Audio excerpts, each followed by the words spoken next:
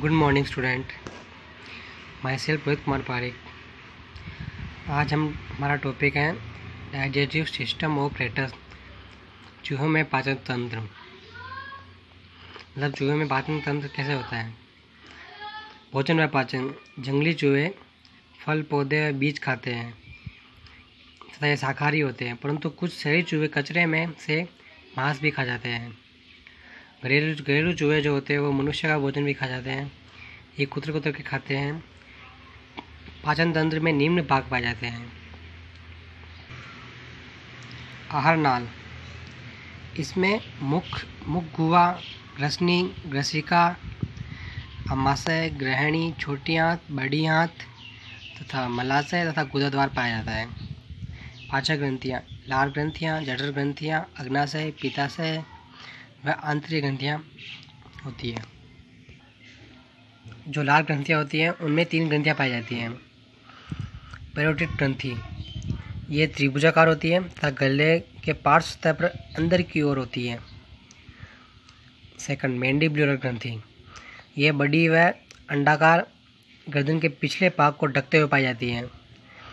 Sublingual ग्रंथि। ये हल्के रंग की मैंडिबुलर ग्रंथि से जुड़ी हुई है। इन सभी ग्रंथियों की वाहिनियाँ मुख में लाल स्त्रावित करती है, जो भोजन को लसलसा बनाती है, तथा इन, इसका अमाइलेज एंजाइम स्टार्च का पाचन करता है। भोजन को चबाने के लिए जबड़ों पर दांत पाए जाते हैं दो प्रकार के होते हैं कृतंग तथा रदनक तथा इनमें जीभ पाई जाती है, जो भोजन को अंतर्ग्रहण करने का कार्य करती है। पाचन क्रिया। भोजन के पाचन में निम्न काम काम आते हैं। मुख। माउथ या ओरल केविटी। मुख द्वारा भोजन ग्रहण किया जाता है। ग्रसनी मुख द्वारा भोजन ग्रसनी में लाया जाता है। यहाँ श्वसन मार्ग, भोजन नली श्वसन मार्ग व भोजन नली परस्पर मिलते हैं। थर्ड है ग्रसिका इसोफेगस यह ग्रसनी व अमाशय को जोड़ती है। लंबी नलिका होती है जो ग्रसनी व अमाशय को जोड़ती है। स्टोमक अमाशय इसमें हाइड्रोक्लोरिक अम्ल तथा प्रोटीन पाचक पेप्टिक एंजाइम पाए जाते हैं, जो प्रोटीन, वसा और कार्बोहाइड्रेट का पाचन करते हैं। इसमें सबसे अधिक पाचन होता है अमाशय के अंदर। पायलोरिक छिद्र। ये एक अमाशय से ग्रहणी में भोजन के प्रवेश को नियंत्रित करता है।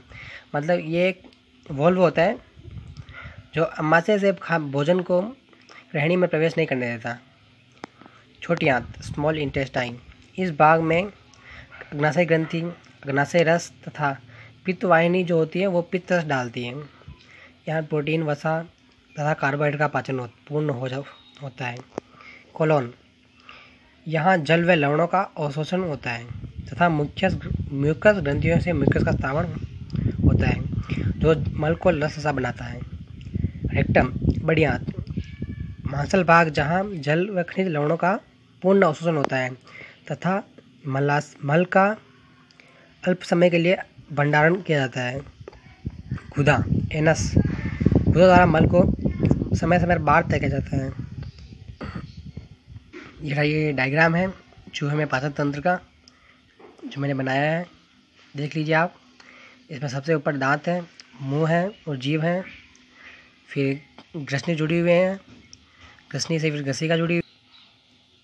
फिर नीचे हृदय जुड़ा हुआ है और वक्स तथा उधर भाग के बीच डायफ्राम होता है, जो दोनों को अलग अलग करता है। फिर यकृत है, अमाशय हैं। अमाशय के ठीक नीचे ग्रहणी के ऊपर पायलट क्षेत्र पाया जाता है। फिर छोटी आँत होती है उसमें अंदर, फिर बड़ी आँत रेक्टम और गुदा द्वारा मल त्याग दिया जाता है।